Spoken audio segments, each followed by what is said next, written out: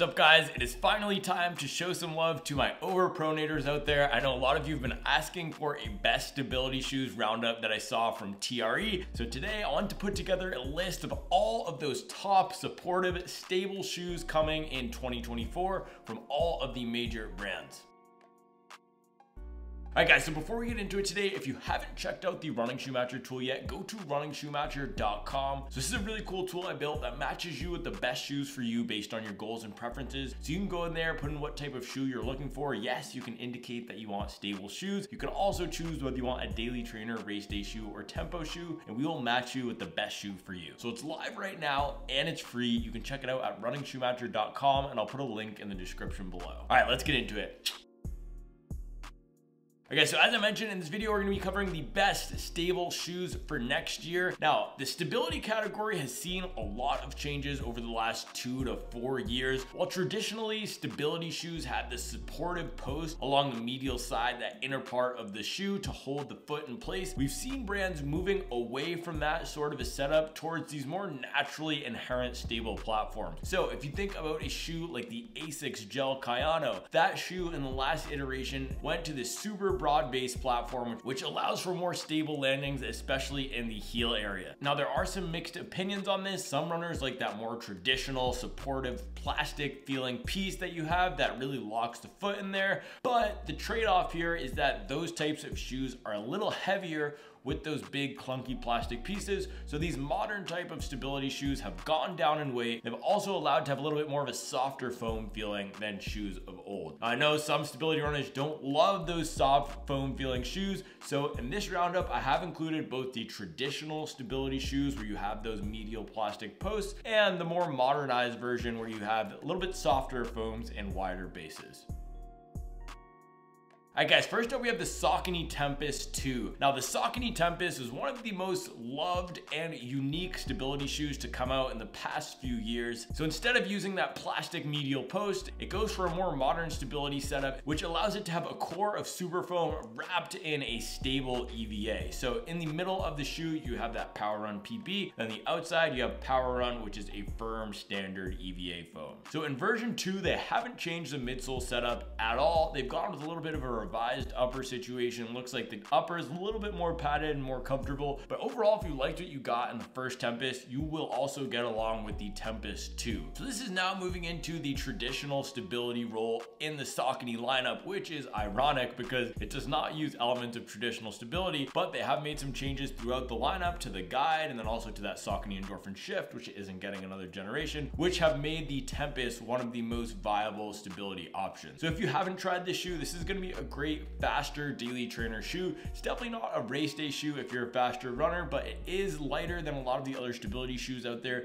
And with that Power Run PB core, it does have a nice bouncy and responsive feel. The one thing I will note is that while this is getting a second generation, I'm looking forward to seeing the prices drop on the first version of the Tempus because they haven't revised the midsole and have just done this upper refresh. It might be worth just grabbing the first Tempus at a discount, although we'll have to see if those upper changes, making a little bit more and comfortable, make a huge difference. However, in my experience, they don't tend to do that, so we might as well grab that first Tempus. Hopefully we'll start to see it fall to that 110 $100 price range.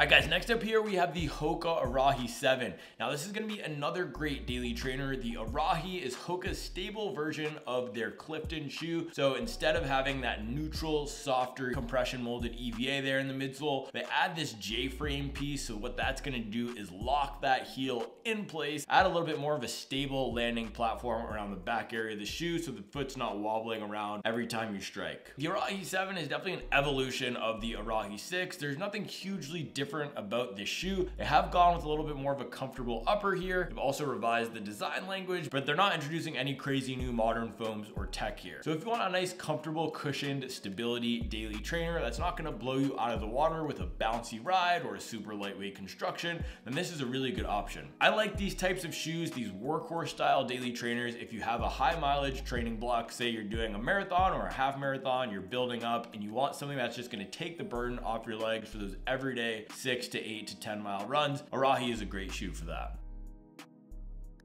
All right, guys, next up we have the Brooks Hyperion GTS 2. This is going to be a great lightweight workout shoe. So Brooks is the only shoe brand out there that carries most of their models in neutral and stable setup. So from the Ghost to the Glycerin to this new Hyperion, they add that GTS to the end of the name, which means go to support. And that indicates that it's their stability model. So the Hyperion 2 is seeing some big changes from the Hyperion 1. It's going up in stack height four millimeters. They're also introducing a new foam in here, that DNA Flash V2, which is gonna be a lot softer than the first version of the shoe. So this is still gonna be a relatively lower stacked shoe compared to a lot of the other workout shoes with modern foams on the market. When you think about that category, there are a lot of these super foam style shoes that have 40 millimeter stack heights. This is not one of them. It's gonna be in that low 30s range, and it does have a traditional medial support post on the inside of that shoe. So this is one of the most competitive, if not the fastest stability shoe on the market. There aren't a ton of dedicated stability workout shoe models, so this is gonna be a really good choice. And it's coming in at a really lightweight. They couldn't confirm the exact specs, but I believe it's going to be in that low eight ounce range. So if you want something that's lightweight, that's flexible, that's not gonna be super bulky, if you want something for those workout days, those track days, maybe even tempo runs, if you don't want something with a ton of cushion, this is going to be a great choice for you. Now it's non-plated, so it's not gonna have as much snap and pop as a plastic plated shoe like the Hoka Mach X or the Saucony Endorphin Speed 3, but those shoes are neutral shoes. So this is gonna be the best dedicated stability shoe that offers some balance and pop to it.